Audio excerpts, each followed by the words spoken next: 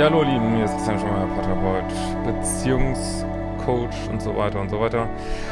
Diplompsychologe und äh, ja, heute haben wir das gute Laune-Thema. Mein Partner hat mich so plötzlich verlassen. Hm, nicht so schön. Äh, ich blende hier mein Buch nochmal ein, ist gerade rausgekommen. Neue Dimension der Liebe. Und ähm, ja, mein Kurssystem findest du auf liebestimmt.de diesen Monat geht übrigens wieder los, die Selbstliebe-Challenge und der Manif die Manifestations-Challenge. So, eine Nachricht von Katrinka. Äh, hi, ich wurde nach einem Jahr schöner Beziehung aus unserem Jahrestag, an unserem Jahrestag aus heiterem Himmel verlassen. Also das finde ich schon mal gleich bemerkenswert. Also erstmal, ja, tut mir das total leid. Ich weiß, wie ätzend das ist. Ist immer scheiße. Trennung und, ähm, aber Mal ganz ehrlich, wer verlässt seine Partnerin am Jahrestag? Ey, das ist einfach, ich will es nicht immer sagen, asozial, aber es ist auf jeden Fall sehr unempathisch. Ich finde das, ich finde das also so, als genau wie man am Geburtstag verlassen wird. Und klar, irgendwann ist der Tag äh, da irgendwie, oder vielleicht hat ihn das auch getriggert, dieser Jahrestag, ich weiß es nicht.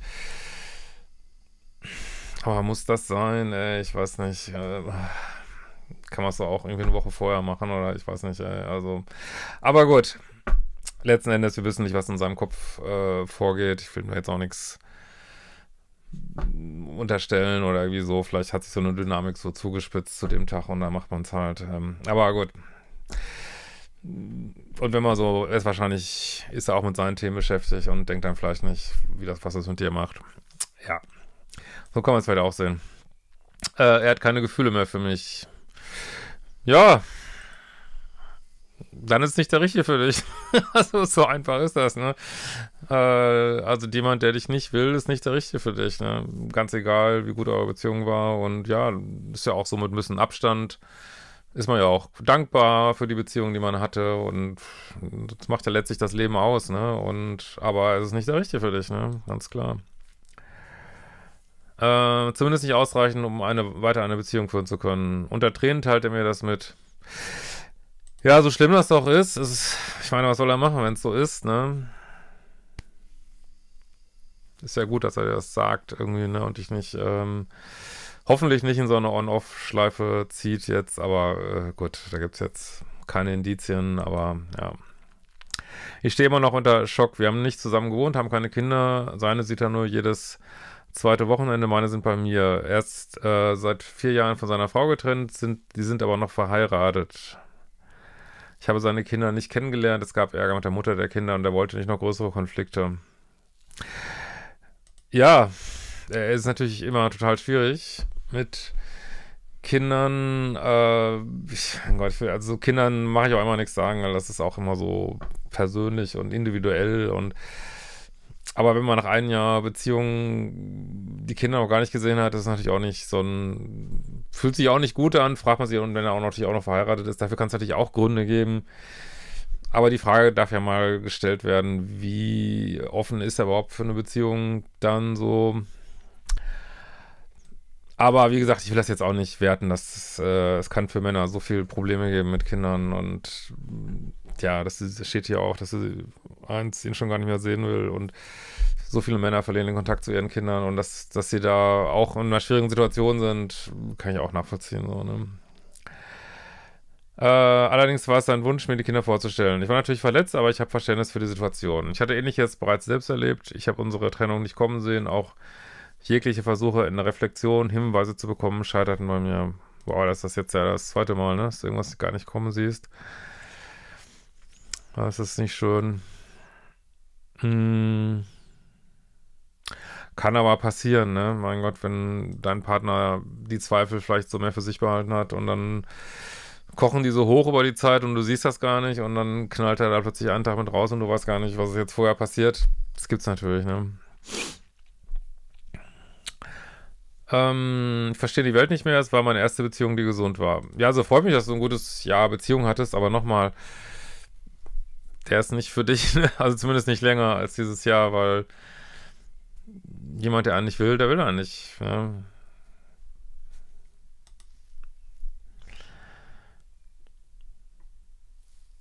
Und da gibt's, äh, also natürlich weint man immer hinterher, ist ja auch normal, aber eigentlich gibt es keinen Grund hinterher zu weinen hinter jemandem, der nicht, nicht will. So, ne? Es ist, wenn man jetzt selber Scheiße gebaut hat und so, hat die Beziehung selber in die Tiefe gerissen, aber ja.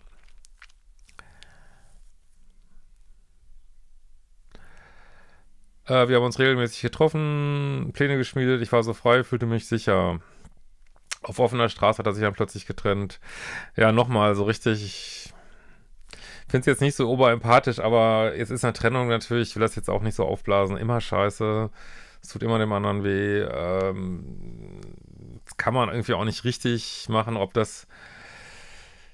Äh, ob jetzt auf der offenen Straße schlimmer ist als im geschlossenen Raum. Äh, aber klar, ob er jetzt so richtig auch an dich gedacht hat, was das mit dir macht, äh, weiß ich nicht, sonst hätte er das vielleicht früher angesprochen. Und ich bin da sowieso immer ein bisschen skeptisch, sage ich auch als Mann, ja selber Mann, obviously. Ähm, Männer trennen sich höchst ungern ohne jemand Neues im Schlepptau.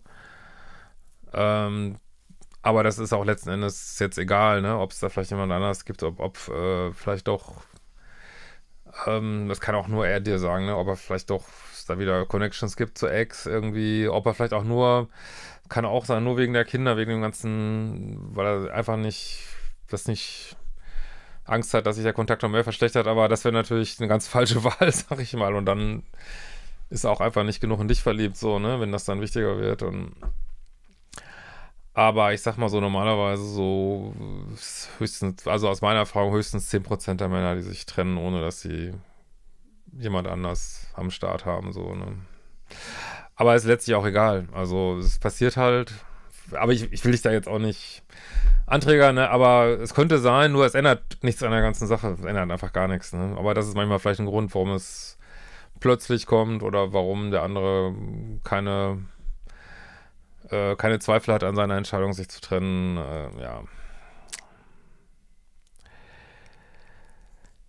So, äh, wir haben uns noch einmal gesehen, haben unsere Sachen ausgetauscht, viel geweint. Äh, er versteht es selber nicht, sagt er, möchte mir nicht wehtun, weiß nicht, was passiert ist.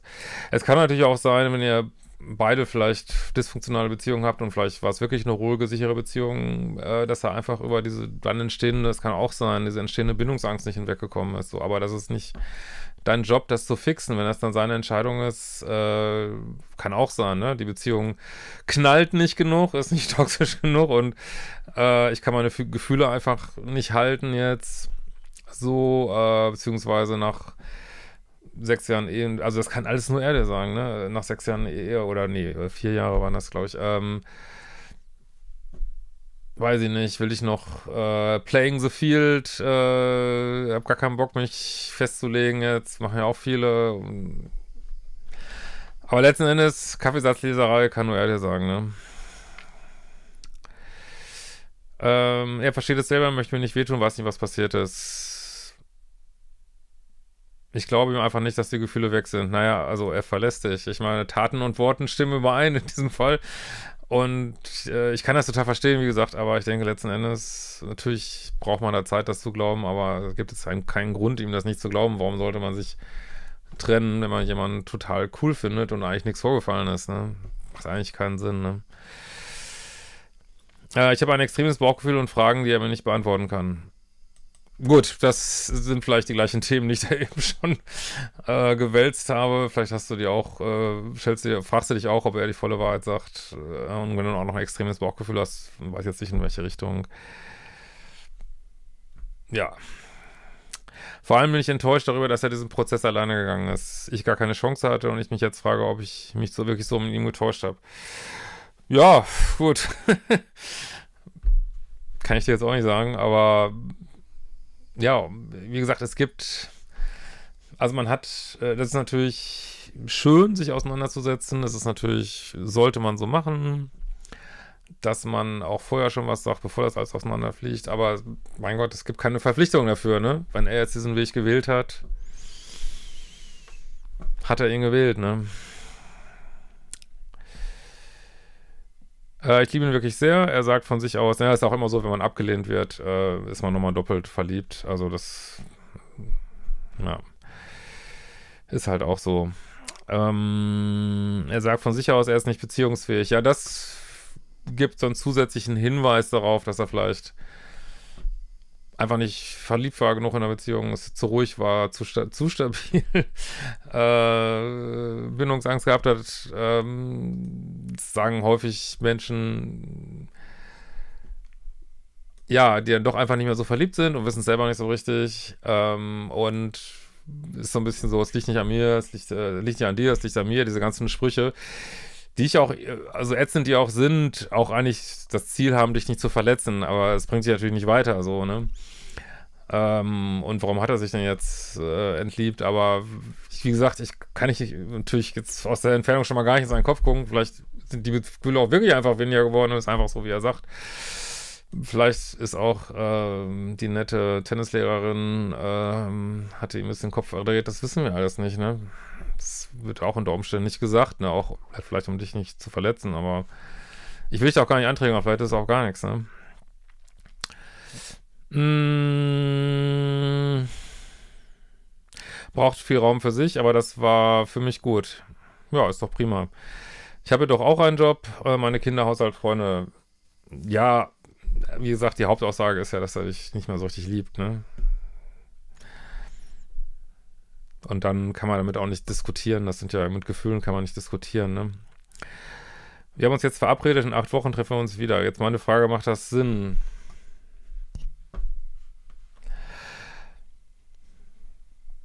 Ich weiß nicht, was das ändern soll. Ich persönlich hätte früher sowas auch gemacht. Ich würde es heute nicht mehr machen, weil ich würde sagen, ey, äh, du machst den Irrsinn, dich von mir zu trennen.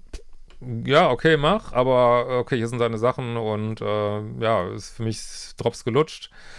Äh, und ich würde, selbst wenn ich traurig wäre, würde ich dann auch sagen, du, weiß nicht, kein Bock dir eine Träne hinterher zu heulen und äh, alles klar, tschüss und ich schmeiß schon mal meine Dating-App wieder an. Äh, sollte man natürlich nicht machen, aber also ich würde so auch deutlich machen, äh, okay, wenn du gehen willst, mach und aber jetzt muss ich denken, dass ich um dich kämpfe oder so, habe ich keinen Bock drauf. so würde ich das machen. Ob das jetzt richtig oder falsch ist, äh, müsst ihr wissen, vor allen Dingen, wenn jemand so dezidiert und plötzlich geht und ich würde dann auch ich würde, also aus heutiger Sicht, aber ich habe auch einfach zu viel Dreck gelesen, immer so. Ich würde immer denken, dass jemand anders im Hintergrund äh, und würde denken, ja, lasse ich den jetzt acht Wochen den anderen ausprobieren. Und dann kann er sich nochmal melden und nochmal sagen, ach, war doch nicht so cool, wieder mit dir zusammen. Oh nee, das, da würde ich sagen, nee. Kein Bock drauf. Also natürlich, äh, vielleicht würde ich sagen, wenn die Beziehung wirklich gut war, würde ich sagen, du, wenn du meinst, das war ein Irrtum, melde dich, dann können wir ja gucken, was wir machen. Aber ich würde jetzt nicht so einen Termin setzen, wo ich dann acht Wochen drauf hinfieber äh, den Liebeskummer unter Umständen ausdehnen. Nach acht Wochen kannst du schon ein gutes Stück weiter sein, so. Äh, und ich komme da gar nicht vom Fleck, weil noch dieser Termin dann steht und ich kann, dann denke, was passiert ist, was passiert ist und kriege dann die nächste Abfuhr. Also allein aus diesen Gründen würde ich es nicht machen. Würde ich sagen, du, wenn du meinst, du hast einen Fehler gemacht, dann melde dich. Aber mein Leben geht jetzt sofort weiter in fünf Minuten, ne? Wenn du raus bist, geht mein Leben weiter ohne dich, so, ne? Ja, das würde ich schon ganz klar machen. Wenn jemand gehen will und selbst wenn man ihn noch zurückhaben will, ist eine gewisse Kühle und Neutralität ist wirklich äh, das Beste, was du tun kannst, weil das zeigt ähm, Selbstliebe, das ist attraktiv, das ähm, zeigt auch, äh, ich bin nicht offen für irgendwelche Spielchen oder On-Off-Geschichten. Ähm, Gibt es nichts zu kämpfen, ne? Meiner Ansicht nach. Du hast ja nichts falsch gemacht hier so, ne? Er sagt ja auch nicht, dass du irgendwas falsch gemacht hast. Äh, ja, vielleicht bist du auch einfach zu nett für ihn. Ich, das, wir wissen es alle nicht, ne? Gibt es die Chance, dass wir wieder zueinander finden?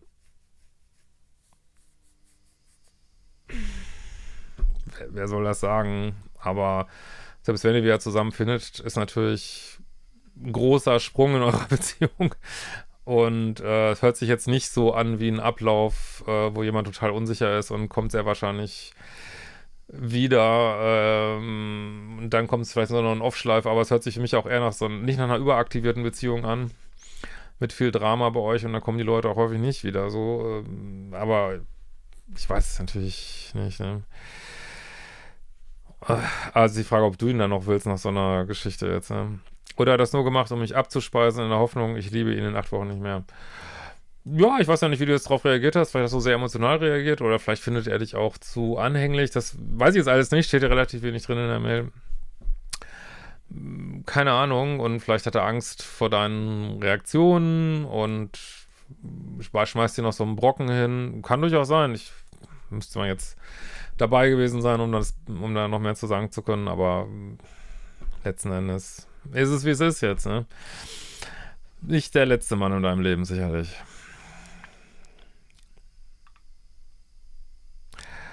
Äh, ich habe mir eine Trennungsberatung von ihm gewünscht, aber Trennungsberatung halte ich jetzt nicht so viel von, es sei denn, man hat Kinder und Besitz und ich weiß nicht was und äh, eigene Flugzeuge oder irgendwelche Geschichten. Also Trennungsberatung ist eine sehr unerfreuliche Geschichte. Ich habe das nie gern gemacht. Ich habe das ab und zu mal gemacht, weil in der Paartherapie gibt es ja immer noch ein Ziel, so, ne? Also was du eigentlich möchtest, ist, glaube ich, eine Paartherapie, wo es auch noch eine Chance gibt. Aber wenn einer keine Gefühle mehr hat, und das so ist, nützt eine Paartherapie nichts und dann sagst du schlauerweise Trennungsberatung, aber willst du jetzt noch zuschauen, wie dieser Mann sich von dir trennt, in Zeitlupe, äh, ihr alles besprecht, in irgendwelchen Sitzungen es noch mehr wehtut, äh, du schon konfrontiert bist mit un unter Umständen, ich weiß es nicht, einer neuen Frau, äh, und da willst du es, boah, also da finde ich es tatsächlich sauberer so, ne? er war einverstanden, möchte aber erstmal diese Pause. Also das verstehe, das ist verstehe ich nicht. Das ist das erste jetzt, was ich auch von ihm echt unklar finde, weil wenn ich sage, ich habe keine Gefühle mehr, warum soll ich dann eine Trainingsberatung machen? Äh, also vielleicht wirft er dir tatsächlich einen Brocken hier hin und da kann man auch gleich starten. Wofür diese acht Wochen dann? Ne? Beziehungsweise, wenn er der Meinung ist, das war ein Fehler, kann er sich ja melden oder was will er in diesen acht Wochen jetzt machen? Aber wie gesagt, vielleicht will er einfach nur nett sein, aber ich, das sehe ich überhaupt keinen Sinn drin, so an dem Punkt, ne? Ich weiß einfach gar nichts mehr. Ähm, ja, natürlich kann Liebeskummer übel sein. Hol dir gerne Unterstützung vor Ort. Ähm, ja, klar, kann man sich mal auch mal einen Hausarzt wenden, Beratungsstelle, äh, wenn es einem ganz schlecht geht. Telefonseelsorge. Ähm, ja, gibt es viele Möglichkeiten. Ähm, zähle das immer gar nicht so oft hier auf. Man kann natürlich auch äh, sich mal an eine Ambulanz wenden im Krankenhaus, einfach wenn es nachts ist und so. Also gibt viele Möglichkeiten, aber äh, ich denke, das ist immer nur am Anfang so schlimm und was willst du mit jemandem, der dich nicht will, so. Aber ist schon ganz okay in der krassen Phase, sich auch mal Hilfe zu holen, natürlich, ne? Ganz klar. Aber manchmal reichen auch Freunde, ich meine, Liebeskummer kennen wir alle. Liebeskummer ist einfach total scheiße, ne? Aber es ist zeitlich begrenzt, das ist das Gute an Liebeskummer, ne? Ähm, ich habe Hoffnung, dabei große Angst, dass diese mich äh, kaputt macht. Ja, das finde ich auch nicht gut an diesem Termin und ich würde diesen Köder auch nicht schlucken. Ich würde denken, ey, was soll das? Weil du wartest dann die ganze Zeit da drauf und äh, es kann dich nur unter Umständen, tut dir das echt nicht gut so, ne? Deswegen würde ich das nicht machen und würde einfach sagen, ja, melde dich, wenn du meinst, du hast einen Fehler gemacht und, und dann kannst, kann dein Leben weitergehen, ne? Mal abgesehen davon, äh, dass es pure Folter für mich ist, mich so lange nicht melden zu dürfen. Naja gut, ich das Recht, er darf Schluss machen, ne? Und er darf auch sagen, ich möchte keinen Kontakt mehr, ne?